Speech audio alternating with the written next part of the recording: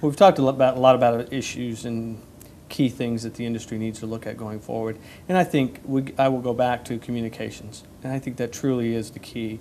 We have to be able to communicate a message about the technology and the development of our industry and how we've gotten to where we are today, what we expect to be, where we expect to be tomorrow. And we have got to do that on a regular basis. It has to become somewhat of a mantra for our members and for our growers to, to communicate to their neighbors and their, their, uh, their customers on what the seed industry means. Again, if somebody else is communicating that message, we probably won't like what they're saying. So we need to be on the forefront.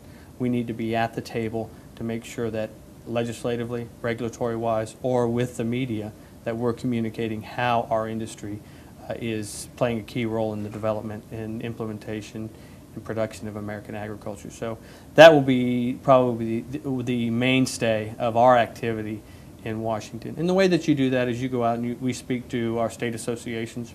We develop uh, uh, programs and, and projects for our membership to take out to their local media, their weekly newspapers, their farm radio shows. So we're talking about what the seed industry is doing and what is the, the development of technology and how that impacts America's growers. And so as we move forward, communications will be our key.